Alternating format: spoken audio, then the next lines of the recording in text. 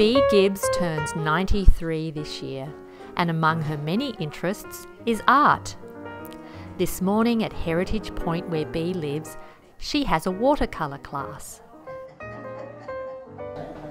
My favorite artist would probably be Van Gogh. Although Bee admires Van Gogh, her preferred medium is watercolour. Her subjects are often inspired by the world around her, like the nearby Southern California coast. But Bee is not California born. The place with that distinction, back in 1918, is Malden, Massachusetts. Bee served in the Navy in World War II. Then she met Howard Konowich and settled down in Wildwood, New Jersey to raise four children. My grandmother was my favorite person. And I thought I would try to do a portrait of her. I'd like to have another time to try my grandmother again. That was my first try at a face. So maybe I'll do better next time. Bee likes to experiment in her painting. She has done a lot of still lives and has even tried her hand at figure painting. The nude. Tell me about that one. Well, when I sent it into Facebook, I called it my self portrait.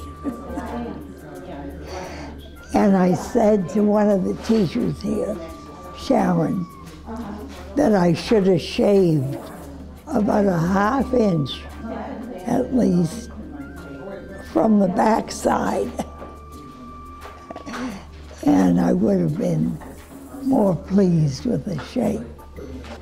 That is my first attempt at a figure. So I've been trying different things and I like to experiment.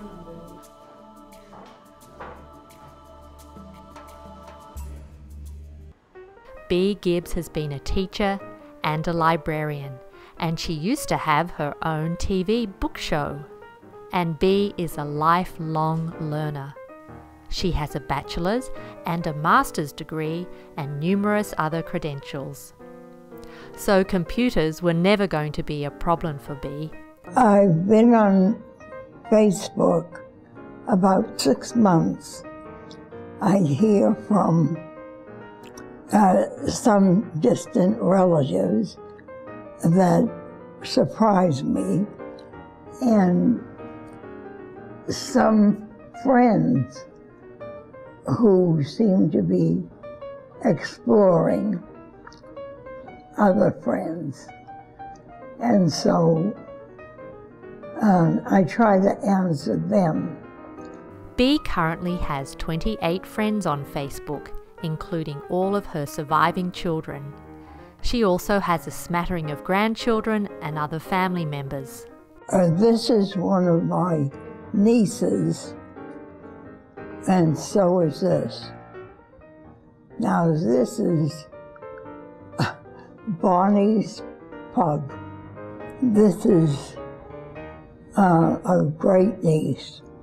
Technology has come a long way in Bee's 90 plus years. The world that her grandchildren have grown up in is vastly different from even her own children's, back in Wildwood, New Jersey in the 1950s. Most of Bee's family live in another state. Her three grandsons live in a whole new world. But Facebook has been a good way to bridge the geography and connect the generations. Some of my grandchildren are on Facebook. Jeffrey and I think, oh, here's my hairdresser who was here this morning.